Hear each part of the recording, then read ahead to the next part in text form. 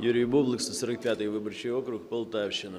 З цієї високої трибуни я хочу звернутися в першу чергу до українців з приводу того, що завершилися нарешті чергові президентські вибори, саме чергові, не перші, не останні, а чергові.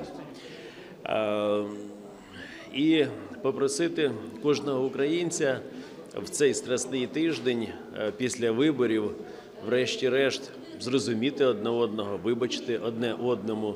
Е, Після тієї надвеликої передвиборчої політичної істерії, яку е, нагнітали виборчі штаби двох кандидатів, де багато українців між собою пересварилися, обзиваючи один одного, то різними словами не буду їх повторювати.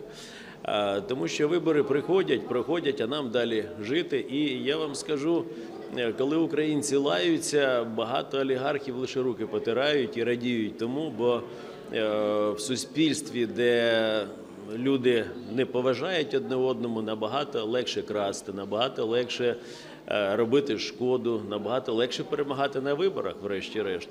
Е, На моє переконання, е, я вважаю, саме наразі українське суспільство має належним чином тиснути на владу е, для того, щоб ухвалити концептуальні речі, які е, потребують давно вже ухвалення.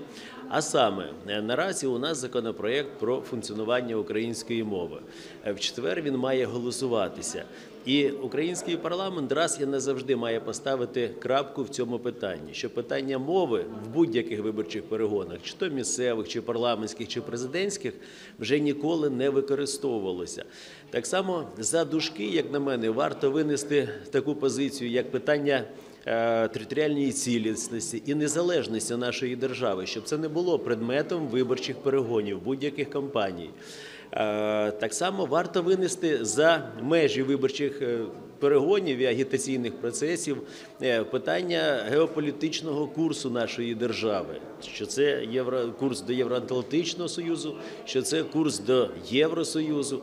Е, І е, я гадаю, було б дуже доречно на законодавчому рівні прописати і внести ці зміни, що питання територіальної цілісності, питання незалежності, питання мови, питання курсу держави не є темою виборчих перегонів, тому що ну дуже було образливо дивитися, коли один із кандидатів мене позиціонував із Путіним, тому що я за нього не голосую.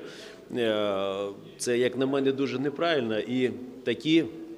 Агітаційні методи ну поляризують дуже суспільство е, на зіштовхують українців лобами.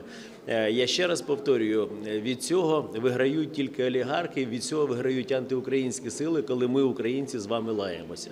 Тому е, в цей страсний тиждень, в першу чергу, я хотів би попросити вибачення в усіх українців, кого я образив під час виборчих перегонів своєю політичною позицією, не підтримавши жодного з кандидатів. І при цьому я поважаю і шаную вибор кожного українця, який голосував за одного чи іншого кандидата.